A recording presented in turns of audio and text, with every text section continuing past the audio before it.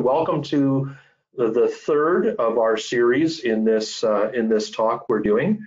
Uh, I'll introduce uh, Jacques in a second, but I wanted to just share a little bit about, um, you know, I've talked every time about the importance of, of Leger saw the need to share information. That's we gather information, we gather insights, and we thought it was important to share throughout this. Uh, if you do not uh, if you do not receive our weekly COVID tracker, please go to uh, the website leger360.com and you can download, and that is a free uh, tracking survey that we've been doing that lets us track Canadians and Americans' attitudes and views on, on the current pandemic, um, being at home, what does it mean about going back to work, what are we doing from social distancing measures and all, all aspects of COVID.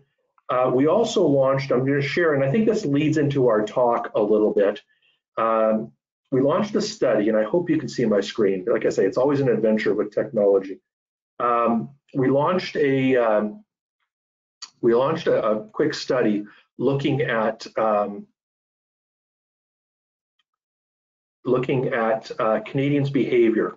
So, what are we doing as Canadians? What are we uh, uh, during the pandemic, and ever what behaviors are changing. And we found generally 18% of Canadians said they've adopted at least one new online behavior. And I think this is going to be a big part of the talk Jacques and I are going to be talking about is this, this new online experience. And 71% of Canadians who have adopted that um, feel at least one new behavior, feel they're going to continue it. So in other words, We've tried it out and it's worked for us. And if it's working for us, I am likely to continue that um, afterwards. The um, sorry, I had a hand raised. That's interesting. Um, then when and then when we move forward, we're also seeing that young Canadians are adapting quicker. Uh, we are also seeing that there's a need for, and we're going to discuss about this specifically in regards to Quebec, but I think also across all of Canada, this buy local movement that we're seeing, um, and that Canadians are generally focused on food and health, which I don't think is that surprising, but a lot of our shopping and uh, needs are around that for this current period. So let me um, let me introduce uh, Dr. Jacques Nantel, who is uh, who is joining us today. Thank you, Jacques, for uh, for being here. Just a quick little uh, introduction. Uh, Jacques is the professor emeritus at HEC Mon Montreal. He is the co-author of uh, at least five marketing textbooks and a number of scientific articles and journals. One of the textbooks is, of course, the uh, Cracking the Quebec Code, which uh, Jacques is a co-author with uh, Jean-Marc Leger and Pierre Duhamel, which if anyone on this phone also is doing business in Quebec and doesn't read this, this is something you should be looking at. Uh, over Jacques' academic career, he's received awards for his teaching and advancement of the marketing profession. And in 2018, the Quebec government made him a distinguished member of the Order of Excellence in Education. At HEC Montreal, he has served as director of the marketing department, director of programs, and secretary general. He's also acted as chairman of the Omer DeSerres Chair of Retailing and the RBC Financial Group Chair of E-Marketing. So welcome to our talk, Jacques. Glad to have you with us. Thank you. How are you, how are you doing so far as part of all this uh, pandemic and staying at home? Well, I'm doing okay, but you should ask the question to my wife. She, she, she, she's the one who has all the merit. okay. Well, and I guess we're here to talk retail. And uh, when you and I were talking the other day, you made a comment that uh, you used to see what was going to happen five years in the future. And now you it took five weeks to get there in some respects. So maybe you could talk a little bit about just in general, what ways do you feel the retail industry will be changed after this? Okay, well, that's a very good question, Dave. And first uh, and foremost, uh, thank you all for being here. Uh, it's an honor to uh, share one of two of my thoughts with you. Um, the first thing I'd like to mention is is something which uh, will sound obvious, but it's it's important to mention it. Um, retail landscape will change. Uh, it is actually changing, but it, it will change in a persistent persistent way uh, for years to come, no doubt about it. But There's one thing that will not change is that consumer will still be there and consumer will still be consuming uh, because there are needs to fulfill. Uh, we might be, we will be going through a recession. Uh, things might be a little tougher, but consumer will still be around. So the question uh, for everyone to think about is that what will be the networks? What will be the channels? How will that landscape evolve? As David mentioned, as you mentioned, David, um, uh, if I would have told you uh, three months ago where retail would be five years down the road, I would have told you it is going to be much more efficient, uh, way less investment in real estate, and way more e-commerce. Well, this is exactly what we're going through now. We are covering in two months what we would have covered in five years. Um, and as Dave mentioned, and as the survey um, shows, uh, a lot of Canadians are finding that doing business and buying things through the web is extremely efficient. Um, you got to realize that if, if, if we were to go back, let's say January 1st, about 10% of all the purchases of Canadians were through the web. Um, now, of course, it's way it's way more than that. We are we are probably around 30 to 35 percent. What Canadians have discovered over the last two weeks and two weeks and certainly two months is that you can do a lot of your purchases through the web. It's efficient. It will be even more efficient by the time the logistic will be uh, totally fine-tuned. Um, so there's no doubt that we are not going to go back all the way where we were as long as the type of retail outlets are concerned. Uh, for any retailer to have a in to have a store, to have a physical store, you will have to um, propose a lot of added value because if it's only about the price or the product or the accessibility to the product, Canadians now have learned that you can get it through e-commerce. Right. Um, I'm going to pause for a second. If anyone has any questions, there is a question tab. Feel free to open it and, and write it through, and I will pass on the questions to Jacques while we go. Um, that being said, the fulfillment of it has to be there as well. So when we yeah. talk about almost three quarters of Canadians saying, I've tried something and I'm likely to continue it, that mm-hmm. means that retailers must be getting something right yeah. in terms of this, or are we just giving them a lot of grace and uh, extra room to make mistakes? Like, are, are, retailers getting it right in terms of uh, addressing this right now? They have to get it right. They have no choice because you have a very strong contender, and we will talk about it in a moment uh, when we'll talk about local stores and local providers. But uh, you have a very strong contender, which is Amazon, whether Amazon.com or .ca, and they've learned uh, to do things pretty well. So that's the benchmark now. Uh, a lot of consumers, and I think that it's uh, it's it's in the survey. A lot of consumers have tried also for local stores, especially grocery stores, uh, drug stores, and, and local products. But a lot of uh, the things that consumers are still, Canadian consumers are still buying goes through major um, players as Amazon. So they've been setting for years now the benchmark. It means that anybody who will want to fight in this arena will have to be just as strong and as uh, as efficient. Uh, doesn't have to be just like Amazon, but you've got to be mm-hmm. efficient. One of the things though that a lot of retailers are uh, are, are, are under, understanding that the understanding that they're gaining is that um, you can do pretty good business. Maybe not for all of retailers, but for a whole lot of retailers, you can do pretty good business by having a totally different revenue model.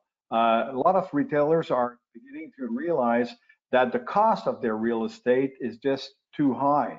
Uh, real estate for two reasons: the store itself, but the mm-hmm. fact that you have a lot of your inventories in your stores, which are prime locations. So the square foot of that you have to pay for to keep inventories in a lot of stores can be handled in the totally, totally different way.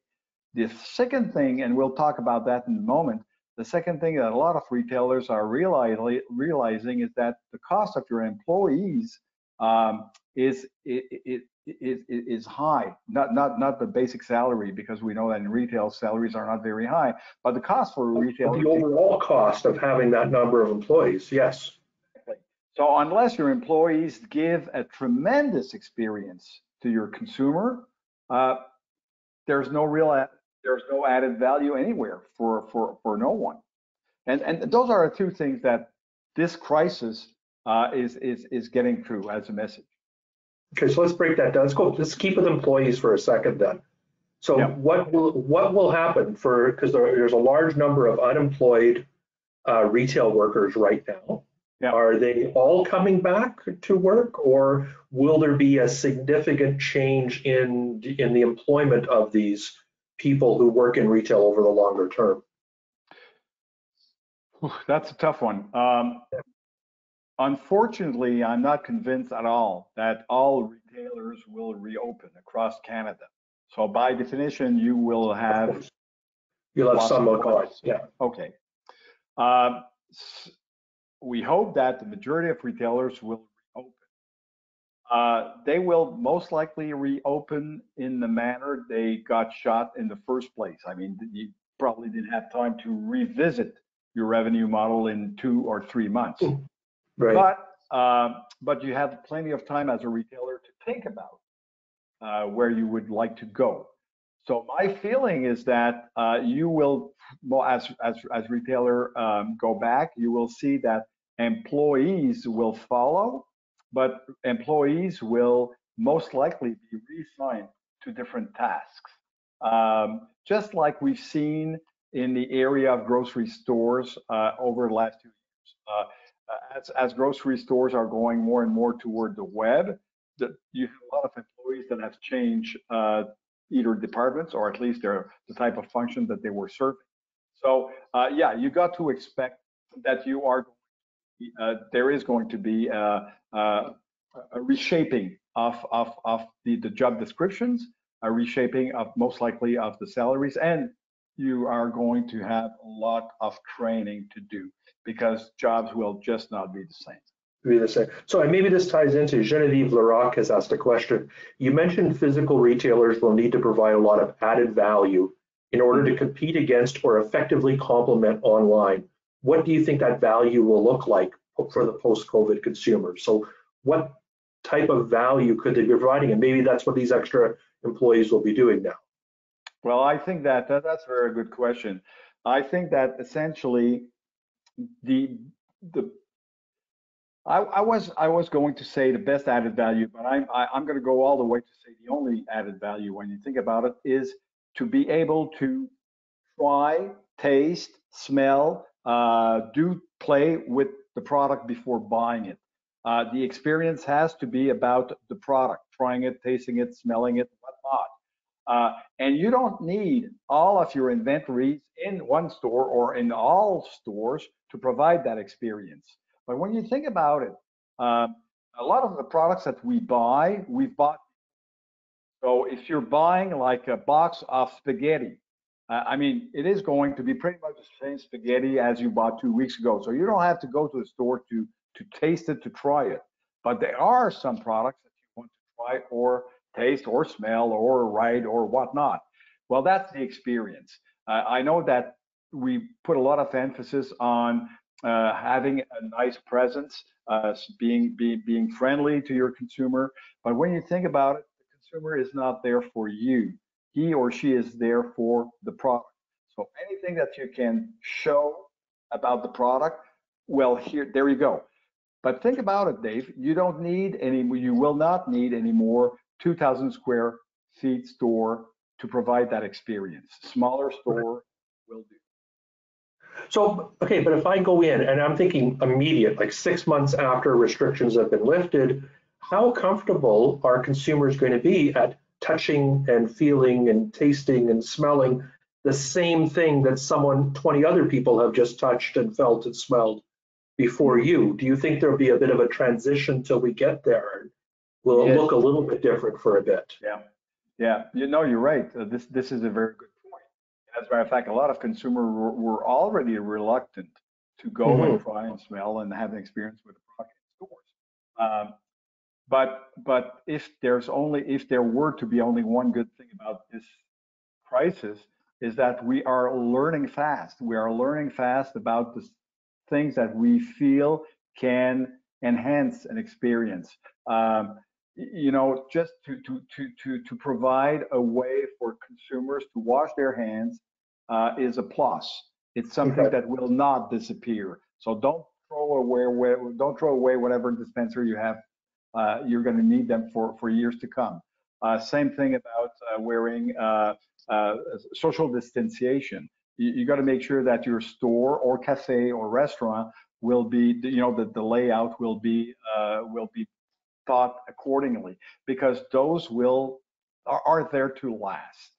Yeah, So it makes so, sense. Yeah. Like when you go into the grocery store now, and the first person you see is someone who gives you hand sanitizer Yeah. before you're even in the store. So those types of uh, applications need to be made as we go forward. Um, I'm going to go back to the idea of physical space. Uh, You talk about smaller footprint. What's going to happen with, with shopping malls, which are a, a gathering of large numbers of people to go to a number of stores within that? How are shopping malls going to come out of this? And, and are we going to see, uh, Paulo Bernardino asks, are we going to see sort of a resurrection of the major commercial streets, which Well- have been abandoned for malls? I mean, is there going to be a shift in that aspect of it as well? Well, that's a wonderful question. Um, shopping malls, the way we, we've been thinking about them uh, since the late 50s, uh, were already in a very bad place before the crisis. Uh, they were not going as well as they used to five or 10 years ago. This pandemic will only uh, make things worse for them. Um, shopping malls that were doing okay were shop, shopping malls that were dwelling on services and entertainment. We all understand that services, whether it's a hairstylist or cinemas or cafe, will not be back like next weekend. So unfortunately, shopping malls will hurt even more. Conversely, uh, main streets uh, will most likely be uh, on the rise for a whole lot of reasons. Uh, the first reason is that you don't, you don't, as a consumer, you will not feel as secluded as you would have, you would be in a shopping mall. But also because there's another thing that will change. Um, because you will not want to send everyone taking the subway at the same hours, all jammed. Uh, you will, businesses will have, and not, not only uh, uh, for the fall come back, but I'm convinced that it, it is going for years to come. We will use much more uh, at home work, but we will also spread the, the workable hours across the day. Because of that, it is going to make an experience, shopping experience on a main street much more pleasant because you Mhm. are going to have less cars and it is going to be much more enjoyable to walk on those streets. If I were to invest uh, in any real estate for a retail operation, it would be much more on the street than it would be. Okay, that makes sense. Um, uh, Mary uh, Tanos has asked, uh, obviously things are going to change, but what about grocery stores? How do you see, and yes, some of it's gone online, but they've been essential. They're still up and running. There's been some shifts. What do you see happening to grocery stores after this? That's a very good question. Uh, if there's one sector of the retail industry that we're really moving in the right direction anyway, it's it's grocery store. If you see the layout of major grocery stores, uh, whether you look at um, uh, Loblaws or Sobeys or uh, Metro or Whole Food, of course, um, they were already going toward more and more fresh products. When you you, you know when, when when you enter those stores, you have those little uh, islands of products that that that. The stacking of, of either um, uh, um, produce uh, uh, vegetable, fruits, fish products, meat product. And this is where consumer like to spend their time. It's it's it's enjoyable to be in that area. Uh, and then suddenly, after you you you you you you went around all those little islands, then you, you you turn a corner and you're back in the old alleys where you have dry stocks, dry food, you know, spaghetti cans and stuff Yeah. like that. If you if you look at a store, uh, any any of the major uh, banners, if you look at one of their stores that have, would have been uh, um, uh, redesigned over the last two years, two thirds of the store is in the fresh uh, department and one third is in the um, dry department. And the dry department is pretty dull. Uh, Hmm. so basically, what what what stores are progressively going toward is everything that you buy on a regular basis, which doesn't have a you know a lot of added value. Uh, your quart of milk, your uh, your your can of soups, your dry spaghetti, whatnot. Uh, this more and more is going to be delivered at home, and and stores already there, going ranging from uh, you know Amazon all the way to uh, uh, Walmart, down the way all the way to Sobeys and Metro, and you keep the store for more hedonic type of consumption, uh, with of course all the safeguards that we've mentioned earlier. Okay, so we're talking about, what about buy local? And to me, produce, I start thinking about buy local. And obviously, we've seen um, in Quebec, there's a real strong campaign, um, buy blue. I don't know the exact French phrase for it, but uh, uh, we're starting to see that in other provinces as well. I don't know if people are necessarily defining what local is, but there's this feel that we, I as a consumer, should think about this in my purchases. Yeah. Yeah. It's always been there. Is this trend going to keep with us further, or what? What do you see? Okay, uh, there are several things in that question. Uh, first, the interest for buy local really uh, uh, got a hype uh, when when President Trump decided to prohibit 3M from sending masks to Canada. This is this this really hurt a big stro- stroke a big a big nerve across all Canada, and this is when we realized that uh, it's not a good thing for any country, for any nation, uh, to be dependent uh, from the international suppliers, whether for food or for the mask. Uh, when you realize that we cannot, in this country, make paper masks, uh, that we have to import them, uh, uh, we suddenly, as a nation, you know, as Canadian, we certainly start realizing that the pendulum was just like two-way to the um, uh, international uh, and globalization. So a lot of Canadians want to bring the, bring it back. Now, what will it mean in practice? It will mean in practice essentially two things. Uh, that most Canadians will want to buy local if the price is just as good. I am convinced, and I've been studying marketing for the last 42 years of my life. Um, uh, if, if the price is not there, people will just not stick to their local uh, ideals. But uh, there's another thing that uh, we will realize though, and it's not really consumers that are realizing it, uh, but uh, retailers themselves. Retailers now are realizing that they are extremely vulnerable if they are dependent from a very long supply chain. If, if, if your supply chain is very long, uh, you are at risk.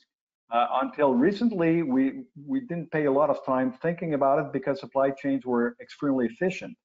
Now it's now we re realize what it is to have a supply chain where you have like one link which is missing, and and because of that, my feeling is that a lot of retailers, especially in the uh, grocery products, will want to make sure that they can buy local because for for Yeah. one thing, supply chains are shorter, so you are less at risk. Because of that, you are going to have more and more local products, and the consequence is that retailer pushing more of the local products, prices will be probably most likely will be better, and consumer will see them, find them, will want to buy them, and you're going to have the ball rolling. But it's not going to be on. I'm sure that it's not going to be on the basis of I want to do my, you know, I want to do my my contribution to the local economy. Unfortunately, by the time the economy is back, uh, this this this this this feeling, this sentiment is going to be way back. Uh, it, it has to be a matter of efficiency.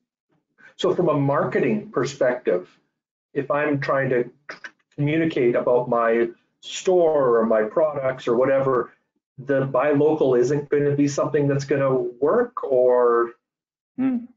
Okay, well, you have a good question. Uh, it's you can almost divide the world when it comes local. Uh, for anything which is edible, for grocery products, uh, it is the product which is the which is local, not the retailer. Okay, so if you have like local potatoes or local lobster uh, in Walmart, people will see it as being local. For all other products, or for most of the other products, um, garments, uh, uh, furniture, uh, electronic, whatnot, it's the retailer which is local, not the product. right. So if you're selling grocery, make sure to put the emphasis on the fact that your products are local.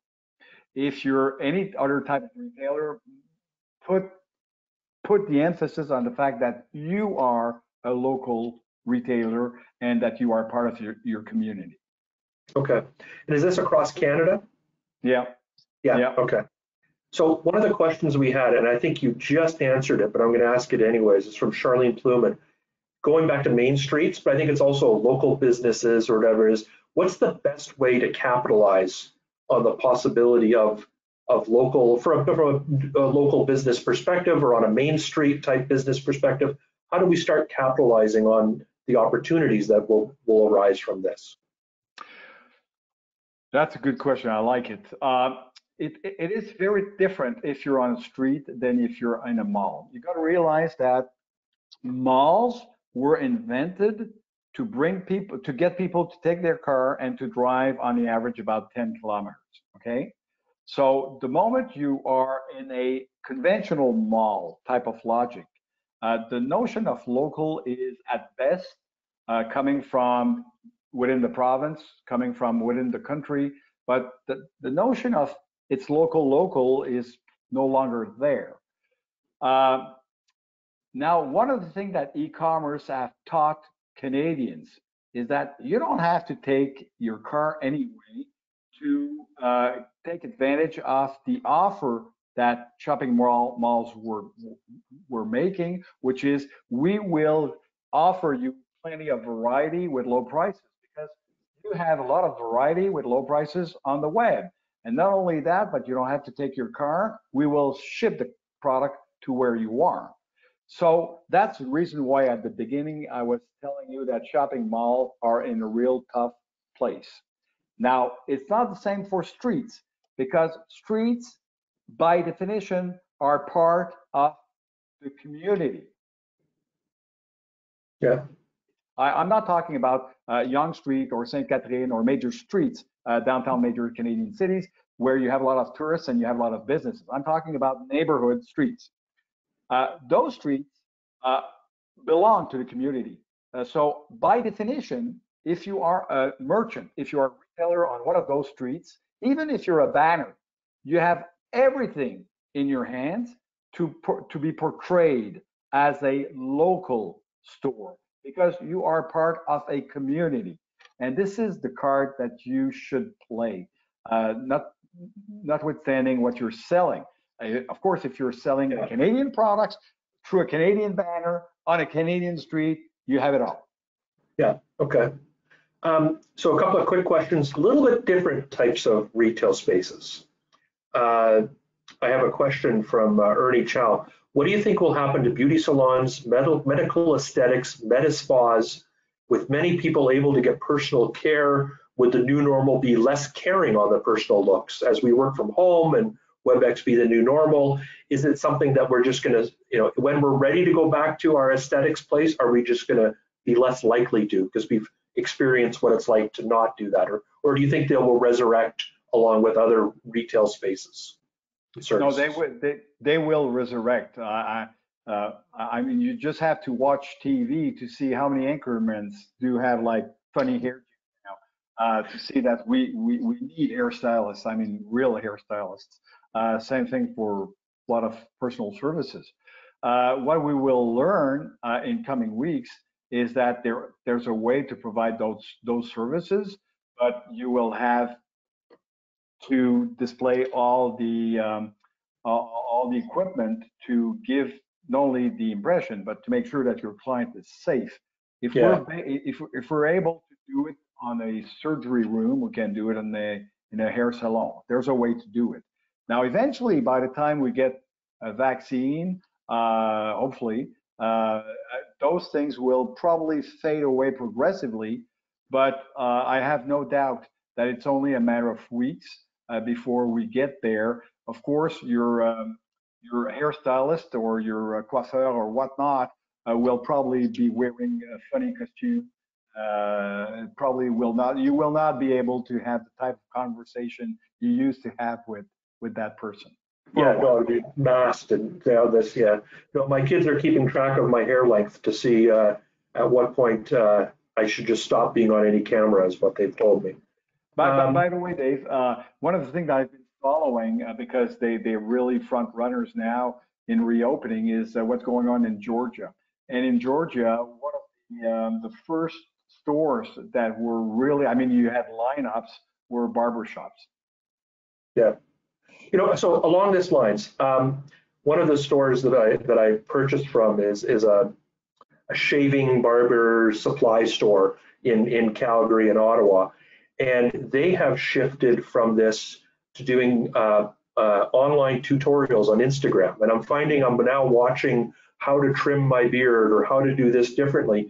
Are you seeing some retailers taking advantage of social media like like this guy, Kent of Inglewood Yep. is doing Yep. to get this? Is that There's a there there's a great experience I've been following uh, since the beginning of the crisis, uh, which is um, um, a barber shop uh, in uh, as a matter of fact it's it's a chain in Boston, and what what their concern, like a lot of retailers, was to have uh, to manage their cash flow. Uh, so Right. what they what they've been doing is that fortunately they had the list of their clients so, so they've reached out to their clients and then they've reached out to more clients through social media, basically making the following offer. Uh, if you are willing to pay in advance for uh, three, uh, three sessions of, uh, of, of whatever, um, you will, you will have automatically a 25% discount. And uh, we forecast that reopening will be, I think in their case, they were forecasting reopening for May 4th. But any uh, week that uh, the confinement would be extended, you're gaining a 5% discount.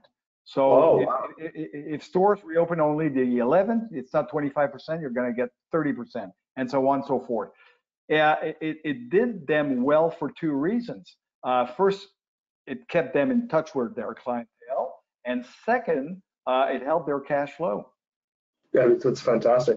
Well, and to a certain degree, that's a bit like the buy uh, gift cards of your favorite retailers, especially your smaller retailers, to happen through that. We saw that movement at the beginning of it, and now we're seeing other movements like uh, uh, hashtag Takeout Wednesday for restaurants to convince people to start buying locally with their restaurants. So we're seeing some of that coming into play. Um, we had promised everyone about a half hour or so, but I have a couple of questions. So for anyone still on, we're going to run through these last few questions. What about, and this is this is shifting a little bit, obviously, away from aesthetics and hair salons, um, festivals, large gathering of consumers.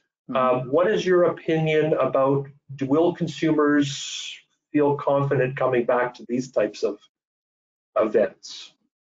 Can you comment on that, or is that That's a that's a, that's a great question. I'm sure that um, most people who are listening to us uh, got through that experience where you're watching a movie on Netflix or whatnot, and you see a lot of people, you know, being like gathered somewhere in the restaurant, and suddenly you're surprised to see that yeah? it's like unusual. Yeah. Yeah. Uh, Makes me feel uncomfortable to see that now when I see that on TV. Absolutely. Yeah. And, and, and, and we, we, we got to that type of reaction within two months.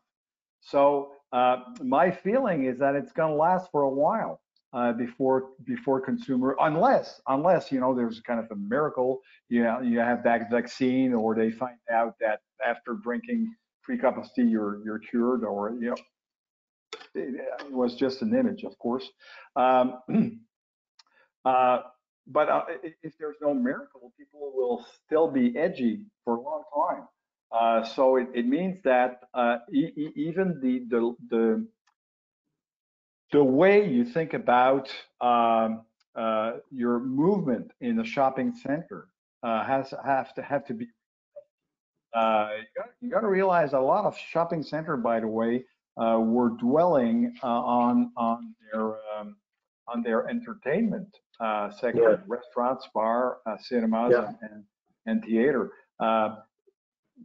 you will not see that for a while. I'm I, I can bet you that and I and I did that little uh, that little computation back of an envelope. Take a take your your average cinema, okay? Uh, unless unless uh, you, you're going to a cinema where you know which is most of the time empty. If you're going to a place where you know there's a lot of people in the cinema or in, the, in a theater, think about the fact that by tomorrow, if you want to reopen, you will need one person per three seats not per two, but per three seats. Uh, in some cases, per four seats. Yeah. So it means that if you're playing, if you're if you're uh, if you're uh, casting a play, uh, you got to uh, break even, at least break even, and hopefully make some profit with 25% of your Yeah. clientele sitting there. Same thing for the orchestra. Same thing for a concert. Yeah, that, that's going to make a big change Yep. to it. Yeah. Um, so we have one more question here. It's it's you were talking about supply chains. Yep. A second ago. Um, we're starting to hear about what's going to happen with temporary workers coming into Canada to help with the agricultural food supply chain. Mhm. Um, do you do you feel that we'll, the grocery stores will have some trouble with the produce coming in because of that effect in that Canadian piece? And how should we be communicating that as a grocery store to Canadians about if if this week there's no certain product available, not because people have bought it all, but because of the supply chain issue? Yeah. Okay. That that that's a very good question. Uh, rest assured that uh, uh, I, I personally I don't foresee any major shortage of of, of food, Um but you're going to have shortages of some type of foods. Uh, you got to realize that actually, as as we are speaking still today, and it was the case, of course, if we roll back two months ago, uh, about 30% of the products that were that were uh, in uh, your supply chain, as long as grocery stores are concerned, were spoiled or lost or thrown away uh, because it was much more efficient to do so than to try to salvage them. Those, Yeah. the time, those are good products. So uh, we're not near any shortage. But what you will see is uh, less uh, attractive products. You're going to have like apples, which, which are not perfectly red, because but you're going to have apples.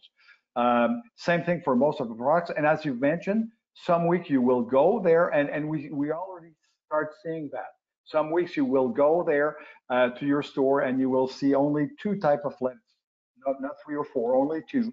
Uh, and and we're we're going to cope with that. Uh, and I think personally that that there there might be some merit to it because that will force us to rethink about what is the real value of any supply chain. And the real value is probably to to to to make the most of any products that is available rather than to make like perfect product to the majority of consumers. Okay, I have one more question, and I, I was going to end it, but I really like this question. It's from uh, Mary Eve Gagne. Um, actually, I have two questions. Uh, just we track for a client sort of Canadian, how Canadians are paying for things on a regular basis, and I can't wait to see the shift in results that come out of this. But do you think cash is dead? Yes. Is it? is- yeah. Okay. That's it. Yeah, credit. That's it. but but for a whole lot of reasons, but not not for the reason that that we would think right away. Uh, we would think about it right away because you don't have to touch the paper. Okay, so you just have to Yeah. not not Right. even swipe, but just like touch the pad with your card. But there's a more fundamental reason: is that uh, uh, um, paper paper money, conventional money, cost a lot to retailers to make their deposit, but it costs a lot for governments for two reasons.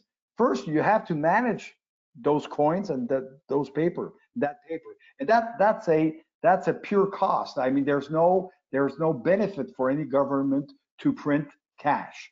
But there's a second reason is that the moment the moment you get rid of cash, you get rid of black market. And in years to come, Mm, taking all the revenues they can. Okay, that's good. That's good. Um, all right, I'm going to ask one more question, but before we do, I want to thank everyone for coming out today and uh, and and being with us. And I want to remind you that next Thursday we're going to have Dr. Alex Sevigny. We're going to talk about the shift in social media during this. And uh, uh, Dr. Sevigny and Leger, we've been doing an 11-year study tracking the use of social media in Canada. We're going to have some updates on that and talk about what's been happening during COVID. And we've added another speaker the week after, Dr. Uh, Tina McCorkindale from the uh, Institute for Public Relations. And uh, they've just done a large study looking at uh, employees and uh, how companies are communicating with those employees and how we should be talking to uh, people who work for us going forward. So an employee communications piece, that's in two weeks. But the last question is on sustainability. We saw a real trend over the last few years towards sustainable products, sustainable practices when it comes to retail. Um, it was gaining momentum and now it's shifted because, uh, for example, I go into Starbucks and I can't use my refillable mug because there's a health risk with that. So do you see this coming back afterwards or is this been enough of a shift off it that we're 10 years back in terms of sustainability? No, good question. No, I, I, I, see, I see it coming back because the the uh, the health issue is a temporary one. It's it's it's a hurting one.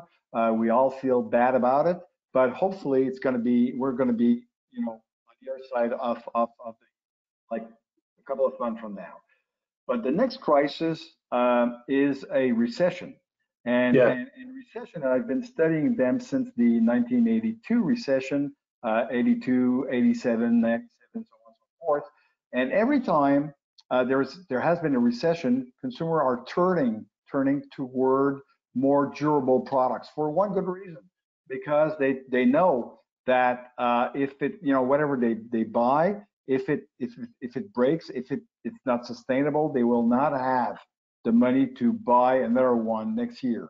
Uh, it applies to computer, but it, it applies also to uh, cups that you bring to Starbucks because if Starbucks can drop the price of their coffee if you bring your cup, well, there is a payback for consumers. Of course, we'll yeah, be looking for paybacks. definitely. Jacques, thank you very much. We've used up everyone's time today. I really appreciate this. I will uh, look forward to all of this ending so we can see you uh, with no mustache for the first time in 50 years with the charity that you're doing. And, uh, and again, thank you everyone for attending and uh, I hope to see everyone back uh, next week when it's uh, Dr. Sevigny and social media. Have a great day, everyone. Thanks, Jacques. Thanks, Dave. Thanks, all.